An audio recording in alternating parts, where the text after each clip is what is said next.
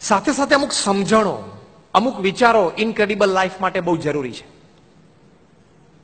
ચલાવી લેવું, મોટું મન રાખવું, જતું કરવું, હસી લેવું, મનમાં રાગ દ્વેષ ન રાખો, આ બધું પણ ઇનક્રેડિબલ લાઈફ માટે ખૂબ જરૂરી છે. હું સહન ના કરું તો તું કોણ? હું સાચો હું તો સહન કરી લઉં ખોટો તો જરાય ના કરું, પણ સાચો ત્યારે તો બધાએ કરવું પડે. પણ ખોટા હોઈએ ને, અરે ખોટા ત્યારે તો બધાએ કરવું પડે, પણ સાચા હોઈએ ને, ત્યારે પણ સંબંધો જાળવવા માટે, મોટાઓની મર્યાદા રાખવા માટે, સામાજિક વ્યવસ્થા જાળવી રાખવા માટે સહન કરી લેવું થોડું. પ્રમુખ સ્વામી મહારાજ એકોતેરની સાલમાં ગુરુપદે આવ્યા પછી બોચાસનમાં ઘરે પધરામણીએ ગયા. ભાડે પેલી વ્યક્તિ રહેતા હતા, ત્યાં પૂજન કરતા હતા અને મકાન માલિકનો છોકરો દોડીને આવ્યો અને કે, એ બાવા, બહાર નીકળ.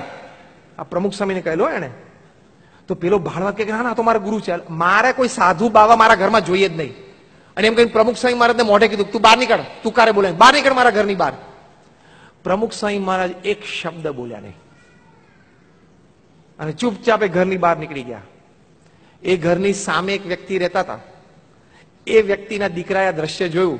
એને એમ થયું કે, આવા સંત, આવા સાચા સંત આટલું અપમાન સહન કરી શકે છે? અને સાધુ થઈ ગયો. બોલો. કુટુંબમાં થોડુંક સહન કરતા શીખવું પડે. ઇનક્રેડિબલ લાઈફ માટે તો તરત વિભાજન થશે. દરેકના સ્વભાવ અને પ્રકૃતિ તો છે જ. દરેકના લાઇક્સ અને ડિસલાઇક્સ તો છે જ. How best can you make up બધા સાથે રહીને કેવું સારું મેકઅપ કરી શકો? એ ઇનક્રેડિબલ લાઈફ છે. તો થોડું સહન કરતા શીખી લેવાનું.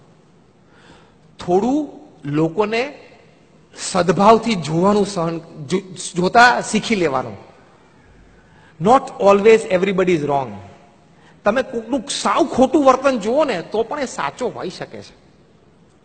સ્ટીફન કોવી એમના પુસ્તકમાં the seven habits of highly effective people જે most likely the best management book upon this earth એમાં એક પ્રસંગ લખ્યો છે કે એકવાર એક વ્યક્તિ એમના ત્રણ સંતાનો સાથે ટ્રાવેલ કરતા હતા ટ્રેનમાં સ્ટીફન કોવી પોતે પણ બેઠેલા અને ત્રણેય છોકરાઓ નાના નાના છ, સાત, આઠ, દસ વર્ષના એ લોકો દોડા દોડી કરે, રમે, કોઈ બીજા પેસેન્જરને આમ લાત પણ વાગી જાય અને નીચે ઘૂસે તો એના બૂટ પણ અંદર જતા રહે. એટલે પેસેન્જરે થોડીક વાર તો સહન કર્યું. પછી એક જણાએ પેલા ભાઈને કીધું કે આ તમારા સંતાનો છે? પેલા કે હા. બસ આટલું કહીને પછી બીજું આગળ ના બોલે. એટલે ઇન્ડાયરેક્ટલી કીધું, ભાઈ, હવે આ સાચું, આ ધમાલ કરે છે કમ્પાર્ટમેન્ટમાં. છતાં પણ પેલા ભાઈએ કશું ના કીધું. એ ન્યૂઝપેપર વાંચતા રહ્યા. થોડી વાર પછી બીજા પેસેન્જરથી રહેવાયું એટલે કહ્યું કે, ભાઈ, તમારા છોકરાને કહો કે થોડું શાંતિ રાખે?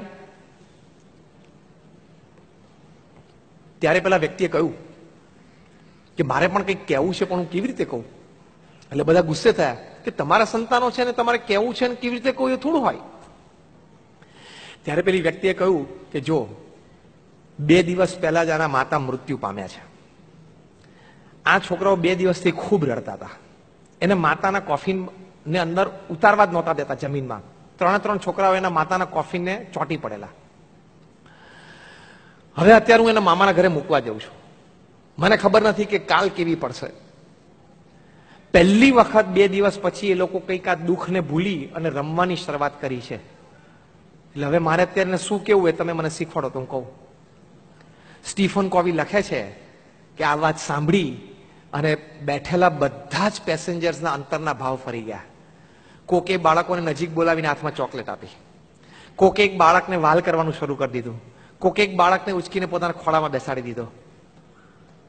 સ્ટીફન કોવી બહુ સરસ લખે છે મેનેજમેન્ટની દ્રષ્ટિએ કે before jumping to conclusions and taking decisions first take care to get the exact know how of the situation incredible life માટે આ ખૂબ જરૂરી છે કે go beyond the facial expressions go beyond the body language to understand the person જેથી જલ્દી નિર્ણય ન લેવાય, ત્વરિત નિર્ણયથી સંબંધો બગડી શકે છે, કામ પણ બગડી શકે છે.